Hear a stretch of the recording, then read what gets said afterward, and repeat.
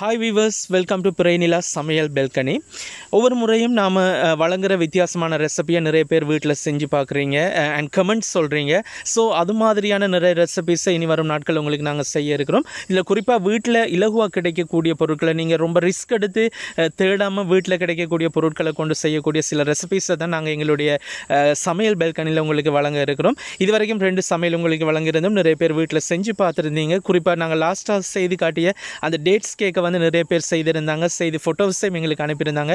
ரொம்ப தேங்க்ஸ் உங்களுக்கு சுலபமாக செய்யக்கூடிய மெத்தடில் தான் எங்களுடைய அவ்வளோ ரெசிபியும் வர இருக்குதுன்ற விஷயத்தை நம்ம சொல்லிக்கொள்கிறோம் ஸோ அந்த வகையில் இன்றைக்கி நாம் என்ன செய்ய போகிறோம்னு பார்த்தீங்கன்னு சொன்னால் வீட்டில் அதாவது நீங்கள் ஈஸ்ட் எடுக்கணும் சோஸ் எடுக்கணும்னு எந்த தேவையும் இல்லை. சின்ன பொருட்கள் வீட்டில் கிடைக்கக்கூடிய ஒரு சில பொருட்களை கொண்டு டேஸ்டான ஒரு ரெசிபியை செய்யலாம். அதாவது ஒரு பிஸ்ஸாவை செய்யலாம். சின்ன பிள்ளைகள் வந்து ரொம்ப விரும்பி சாப்பிட்ற ஒரு பிஸ்ஸா நம்ம வீட்டில் நான் செஞ்சேன்னா இதை எங்களோட வீட்டில் இருக்கக்கூடிய சிறு பிள்ளைகள் வந்து விரும்பி சாப்பிடுவாங்க. சொல்லுவாங்க. அந்தளவுக்கு டேஸ்ட்டான ஒரு ரெசிபியை தான் இன்றைக்கி வந்து நான் உங்களுக்கு செஞ்சு காட்ட போகிறேன் ஸோ நீங்கள் கட்டாயமாக இந்த ரெசிபியை வீட்டில் ட்ரை பண்ணி பாருங்கள் ட்ரை பண்ணி பார்க்குறதோட எங்களுடைய ப்ரோக்ராம் பிடிச்சிருந்தா இந்த ரெசிபி பிடிச்சிருந்தா லைக் பண்ணுங்கள் ஷேர் பண்ணுங்கள் உங்களுடைய ஃப்ரெண்ட்ஸுக்கு சொல்லுங்கள் ஃபஸ்ட்டாக நீங்கள் என்ன பண்ணுங்கள் ஒரு பாத்திரம் எடுத்து அதில் கொஞ்சம் சீனி சேர்த்துக்கொள்ளுங்க எனக்கு வந்து ஒரு கரண்டி சீனி தேவைப்பட்டுச்சு.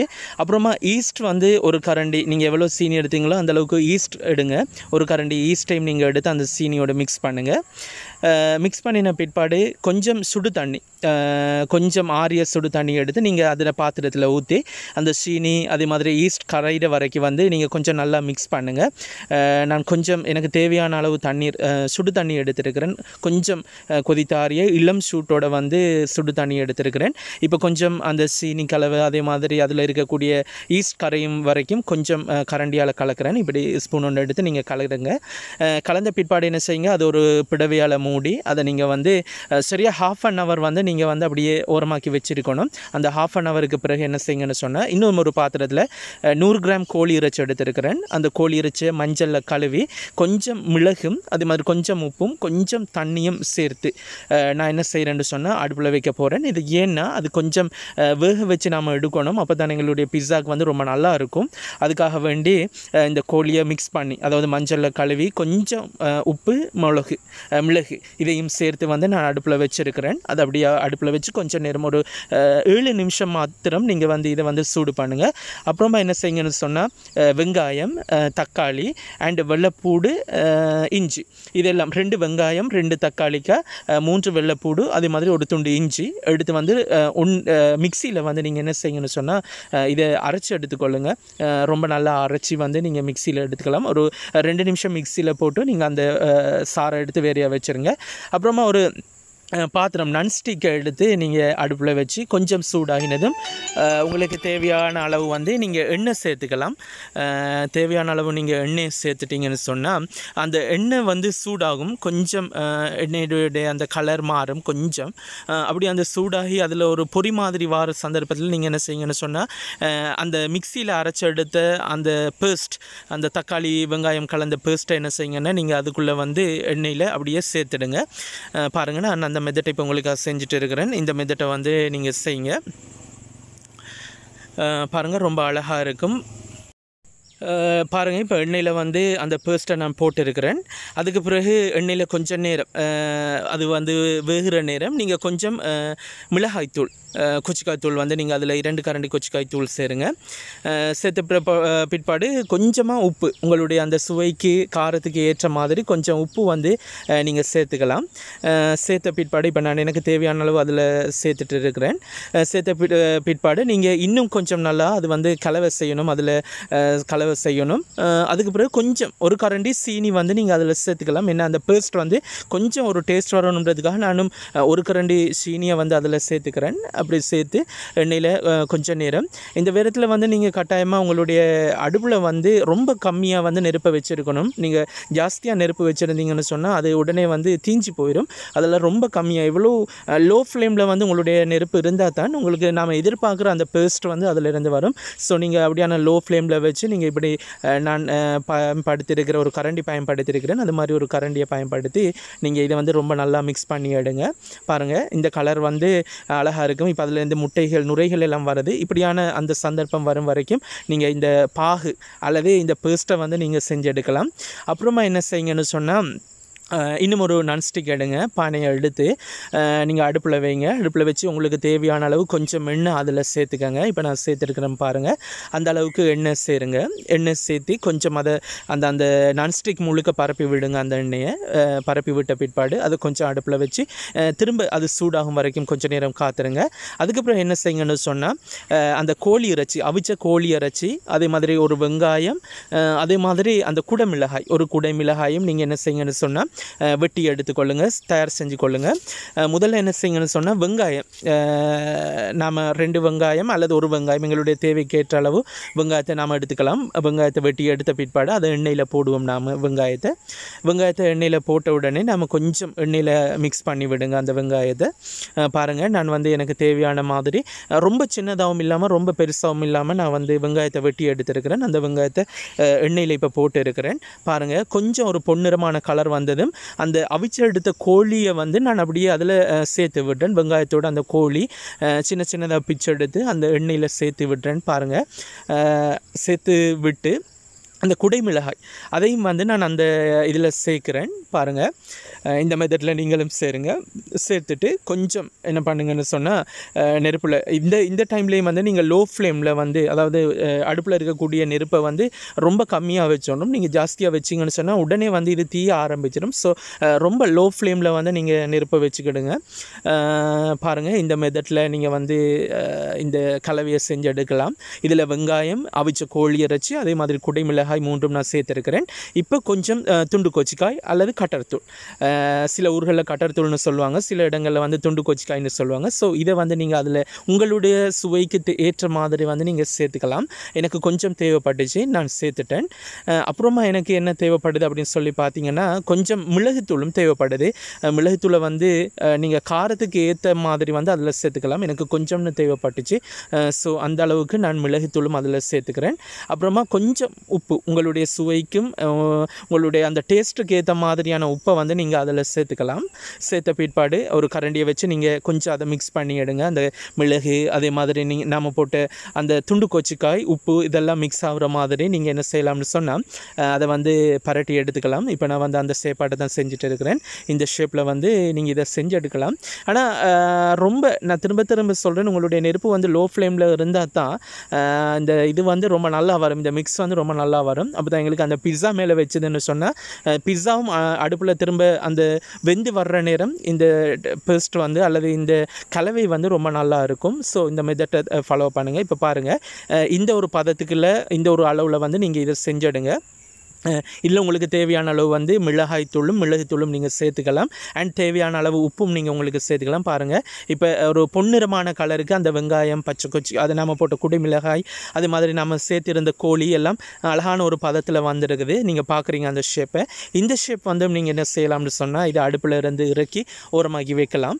ஸோ அடுத்த ஸ்டெப் நாம் என்ன செய்ய போகிறோம் அப்படின்னு சொல்லித்தான் இப்போ நான் உங்களுக்கு சொல்ல போகிறேன் ஒரு கோப்பை அல்ல ஒரு பாத்திரம் எடுத்து அதில் வந்து இருநூற்றி ஐம்பது கிராம் கோதுமை மா நான் எடுத்திருக்கிறேன் அண்டு uh, பால்மா கொஞ்சம் நான் அதில் சேர்த்துக்கிறேன். எனக்கு கொஞ்சம் பால்மா தேவைப்பட்டுச்சு. அந்த பால்மாவையும் நான் அதில் சேர்த்துக்கிறேன். அண்ட் அதுக்கு பிறகு நான் என்ன செய்ய போகிறேன் அப்படின்னா கொஞ்சம் தேங்காய் எண்ணெய் வந்து அதில் சேர்க்குறேன். உங்களுக்கு உங்களோட கையில் வந்து நெய் அல்லது பட்டர் இருந்தால் அதையும் நீங்கள் உருக்கி அதில் சேர்த்துக்கலாம். இப்போ என்கிட்ட வந்து தேங்காய் எண்ணெய் இருந்தது. நான் தேங்காய் எண்ணெய் கொஞ்சம் சேர்த்துக்கிறேன். அண்டு uh, கொஞ்சோன்னு உப்பு அதுக்கு தேவைப்படுது அந்த மாவுக்கு. நான் கொஞ்சம் உப்பை உப்பையும் அதில் நான் சேர்த்துக்கிறேன். பாருங்கள் இப்படி சேர்த்துட்டு என்ன செய்கிறேன்னு சொன்னால் சீனி ஒரு கரண்டி. பொதுவாக அந்த இந்த மா பனையிற நேரம் கொஞ்சம் நீங்கள் சீனி சேர்த்திங்கன்னு சொன்னால் ரொம்ப சாஃப்டாக வரும். அந்த இது நிறைய மேக்கர்ஸ் இது மாதிரி ஃபுட் மேக்கர்ஸ் சொன்ன ஒரு விஷயம் தான். நானும் எனக்கு தேவையாக இருந்தது ஒரு ஒரு கரண்டி சீனி தேவைப்பட்டுச்சு. அதை நான் மிக்ஸ் பண்ணினேன். இப்போ என்ன செய்கிறேன்னா நான் ஏற்கனவே ஒரு மணித்தியால் ஊற வச்சுருந்தேன். உங்களுக்கு தெரியும். அந்த ஈஸ்ட் அதே மாதிரி சீனியும் போட்டு ஊற வச்சுருந்தேன். அந்த இப்போ ஒரு மணித்தியாலம் கழிஞ்சு அதை எடுக்கிறேன். அதை என்ன செய்ய போகிறோன்னா இப்போ இந்த மாவுக்கு நம்ம வந்து மாவுக்கு பால்மா சீனி அதே மாதிரி ஒரு கொஞ்சம் தேங்காய் என்ன விட்டுருந்தோம். அதை ரொம்ப நல்லா மிக்ஸ் பண்ணுறேன் இந்த ஷேப்பில் வந்து நீங்கள் எல்லாம் எல்லா கலவையும் நல்லா மிக்ஸ் ஆகிற மாதிரி நீங்கள் இந்த என்னுடைய இந்த மெத்தடில் வந்து நீங்கள் அதை மிக்ஸ் பண்ணுங்கள் பாருங்கள் எவ்வளோ அழகாக நான் மிக்ஸ் பண்ணிட்டு இருக்கிறேன். இது மாதிரி மிக்ஸ் பண்ணுங்கள் அப்புறமா என்ன செய்யுங்க? அந்த கலவை. நாம் ஏற்கனவே ஒரு மணித்தியாலம் அல்லது அரை மணித்தியாலம் ஊற வச்ச அந்த கலவையை எடுத்து இதுக்கு ஊற்றுங்க ஊற்றி வந்து இந்த மாவை வந்து நீங்கள் ரொம்ப நல்லா மிக்ஸ் ஆகுற மாதிரி எல்லா மாவும் வந்து மிக்ஸ் பண்ணப்படுற மாதிரி நீங்கள் வந்து இப்படி பிசைஞ்சு எடுக்கலாம். இப்போ பாருங்கள் இந்த பிசைகிற மெதட்டையும் நான் உங்களுக்கு காட்டிட்டு இருக்கிறேன். தேவையான அளவு தண்ணியை நீங்கள் எல்லா தண்ணியும் ஊற்றணுன்ற எந்த தேவையும் இல்லை. உங்களுடைய அந்த மாவுக்கு பதத்துக்கு தேவையான அளவு வந்து நீங்கள் தண்ணியை சேர்த்துக்கலாம். அந்த ஊற வச்ச தண்ணியை நீங்கள் சேர்த்துக்கலாம். எனக்கு இன்னும் கொஞ்சம் தண்ணி தேவைப்படுது. ஸோ நான் இன்னும் கொஞ்சம் தண்ணியை சேர்த்து அழகான மெத்தடுக்கு அந்த பதத்துக்கு வரும் வரைக்கும் வந்து இந்த மாவை வந்து நான் பனைஞ்சு எடுக்கிறேன் பாருங்கள் இப்போ அந்த பதம் எனக்கு ஓகே என்று நான் நினைக்கிறேன். நான் ஃபீல் பண்ணுறேன் அந்தளவு இந்த பதம் தான் இந்த பிஸ்ஸாவுக்கு வந்து ஓகேயா இருக்குது. ஸோ அது ஓகே. இப்போ என்ன பண்ணுறேன்னா கொஞ்சோன்னு தேங்காய் எண்ணெய் எடுக்கிறேன். தேங்காய் எண்ணெய் எடுத்து நான் என்ன பண்ணுறேன்னா அந்த மாவு குளிசைக்கு மேலே வந்து தேங்காய் எண்ணெயை வித் பாருங்கள் தேங்காய் எண்ணெயை விட்டு ரொம்ப நல்லா அது ஃபுல்லாக வந்து நான் இப்போ தேங்காய் எண்ணெய் அந்த கோப்பை அதே மாதிரி அந்த மாவு குழி இதுக்குள்ளே வந்து என்ன செய்கிறேன்னா ஃபுல்லாக தேங்காய் நெய் போட்டு பார்க்குறேன். ரொம்ப சாஃப்டாக இருக்குது. நான் இப்போ அந்தந்த அதனுடைய நிலைமையை பார்க்குறேன். ரொம்ப சாஃப்டாக இருக்குது. இந்த பதத்தில் தான் உங்களுக்கு வந்து இந்த மாவுனுடைய அந்த கலவை இருக்கணும். இதுதான் வந்து பிஸ்ஸாவுக்கு தேவையான அந்த மா கலவை. ரொம்ப ஈஸியாக ரொம்ப சாஃப்டாக செஞ்சிடலாம். நீங்கள் ஒரு அரை மணித்தியாலம் இதையும் கொஞ்சம் வைங்க. இப்போ அரை மணித்தியாலம் முடிஞ்சுது. நான் திரும்ப எடுத்து பார்க்குறேன். வா பாருங்கள் நல்லா உப்பி வந்திருக்கும் இந்த மாவு குளிசை பார்க்குறதுக்கு ரொம்ப நல்லா இருக்கும். அண்ட் இப்போ பாருங்கள் அந்த நீங்கள் கொஞ்சம் கையால் செஞ்சு பாருங்கள் அந்த அழகான ஒரு பதத்தில் வந்து இந்த மாவு குளிசை வந்திருக்குது. ஸோ நான் இப்போ வந்து ரெண்டு பிஸ்ஸாவுக்கு அதை வந்து பிரித்து எடுத்துக்கொள்கிறேன் இது உண்டு. இன்னும் ஒரு பிஸ்ஸா செய்கிறதுக்காக வேண்டி அதை பிரித்து எடுத்துக்கொள்கிறேன் ஸோ உங்களுக்கு சில நேரம் பெரிய தட்டு இருந்ததுன்னா அவனில் போட்டு பெரிய தட்டு இருந்ததுன்னா நீங்கள் ஒன்றுக்கே செய்யலாம். இது வந்து எனக்கு நான் நன்ஸ்டிக்கில் யூஸ் பண்ண போகிறன்றதால சிறுசாக தேவைப்பட்டுச்சு. ஸோ நான் இப்போ என்ன பண்ணுறேன்னா நன்ஸ்டிக்கை வந்து கொஞ்சம் எண்ணெய் போட்டு நன்ஸ்டிக் முழுக்க வந்து அந்த எண்ணெயை பூசிக்கொள்கிறேன் பூசிக்கொள்கிறேன் பாருங்கள் எல்லா பக்கமும் தடவுற மாதிரி எல்லா பக்கமும் இருக்கிற மாதிரி அதில் வந்து அந்த எண்ணெயை நீங்கள் பூசிக்கலாம். பாருங்கள் இந்த ஷேப்பில் வந்து நீங்கள் எண்ணெயை பூசிட்டு இப்போ என்ன பண்ணுங்கன்னு சொன்னால் அந்த மாவு குளிசே நான்ஸ்டிக்கில் வைங்க. நான்ஸ்டிக்கில் வச்சு வந்து நீங்கள் ஒரு வட்ட ஷேப்பில் அந்த நான்ஸ்டிக் ஷேப்புக்கே வந்து நீங்கள் அந்த மாவை வந்து தட்டி எடுத்துக்கொள்ளுங்க. மா ரொம்ப சாஃப்டாக இருக்கும். அந்த அந்த ஊற வச்ச கிட்டத்தட்ட தண்ணியை ஒரு மணித்தியாலம் ஊற வச்சிடும் நாங்கள் அதே மாதிரி மாவை ஒரு மணித்தியாலம் ஊற வச்சோம். இது சில நேரம் உங்களுக்கு விருப்பம் அரை மணித்தியாலம் ஊற வைக்கலாம் அல்லது ஒரு மணித்தியாலம் ஊற வைக்கலாம். நாம் எந்த அளவு தூரம் ஊற வைக்கிறோமோ அந்த அளவுக்கு வந்து மாவு ரொம்ப சாஃப்டாக இருக்கும். ஸோ நீங்கள் முடிமான வரைக்கும் அரை மணித்தியாலம் ட்ரை பண்ணி பாருங்கள் அண்ட் அதுக்கு பிறகு ஒரு ஃபோக் எடுத்து நீங்கள் வந்து அதில் கீழே எல்லாம் கொஞ்சம் சின்ன சின்னதாக ஓட்ட போடுங்க. இப்போ நான் பாருங்கள் இந்த ஷேப்பில் போட்டுருக்குறேன். ஏன் இதை போடுறேன்னு சொன்னால் அந்த மாவு உள்ளே எல்லாம் வேகணும் அப்படிங்கிறதுக்காக வேண்டி இந்த செயற்பாட்டை செஞ்சுட்டு இருக்கிறேன். இந்த ஃபார்மெட்டில் நீங்கள் செஞ்சீங்க பாருங்கள் இப்படி செஞ்சுட்டு நாம் அந்த அந்த ஒரு பாகு செஞ்சோம் இல்லையா? தக்காளி பழம் வெங்காயம் எல்லாம் போட்டு மிக்சியில் அரைச்சி அதை எண்ணெயில் காய்ச்சி எடுத்தோம் இல்லையா ஒரு பாகு. அந்த பாகை வந்து நீங்கள் இப்போ இதில் என்ன செய்யுங்க? பேஸ்ட் பண்ணுங்கள் இதை ஏன் நாம் பயன்படுத்துகிறோம்னா நிறைய இடத்துல வந்து டொமேட்டோ சோஸ் அப்படி ஏதாவது பயன்படுத்துவாங்க.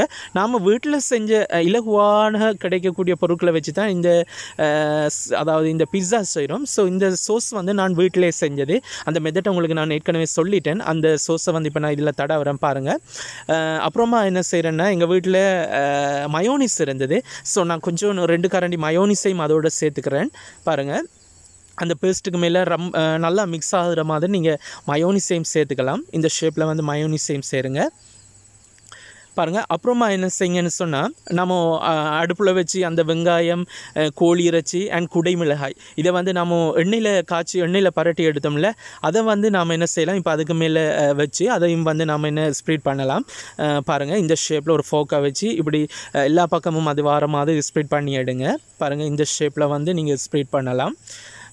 ரொம்ப அழகாக இருக்குது இப்போதே பார்க்குறதுக்கு அண்ட் இது வந்து வெந்து வந்ததுன்னா இன்னும் நல்லா இருக்கும். பாருங்கள் இப்போ இந்த ஷேப்பில் வந்து நாம் இதை செஞ்சுட்டு மேலே இன்னும் கொஞ்சம் குடை மிளகாயை வந்து நீங்கள் சும்மா ஒரு அழகுக்கு வந்து நீங்கள் மேலே வைக்கலாம். அந்த ஷேப்பை தான் நான் இப்போ பண்ணிட்டு இருக்கிறேன்.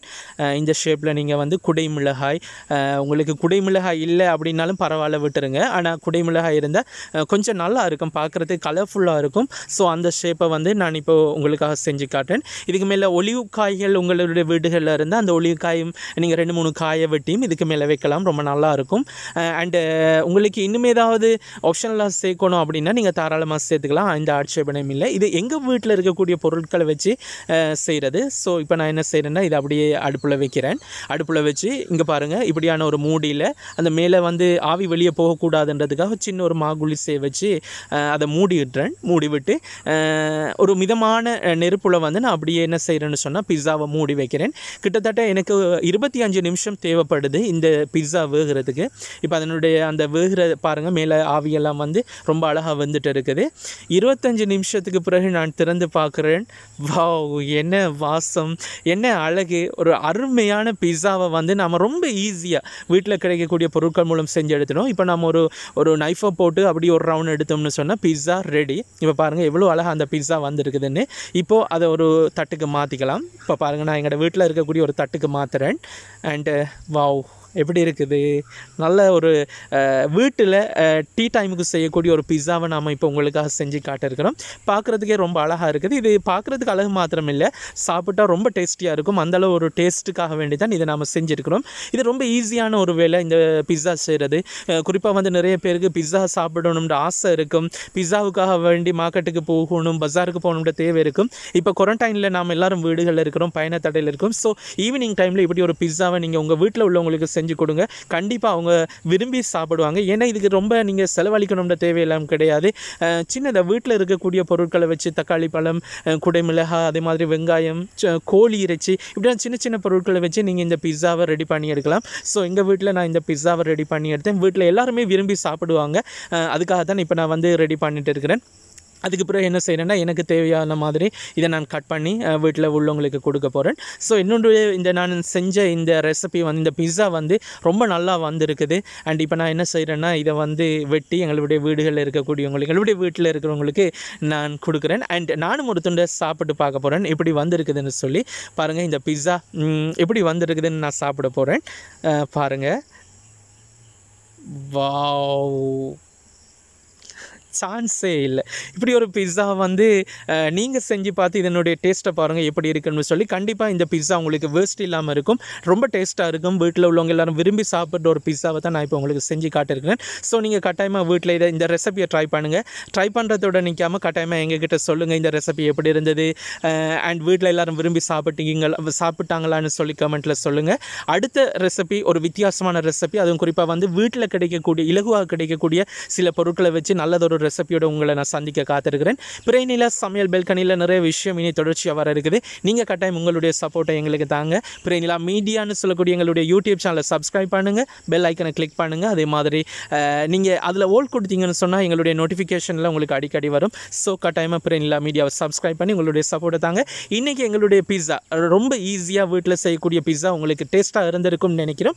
ஸோ மறக்காமல் கமெண்ட் பண்ணுங்கள் உங்களுடைய நண்பர்களுக்கு ஷேர் பண்ணுங்கள் இன்னும் ஒரு சமையல் பெல்கனில் இன்னும் ஒரு வித்தியாசமான சூப்பரான ரெசிபியோடு உங்களை சந்திக்கிறேன். Adil bye bye from Safra Sabu bye bye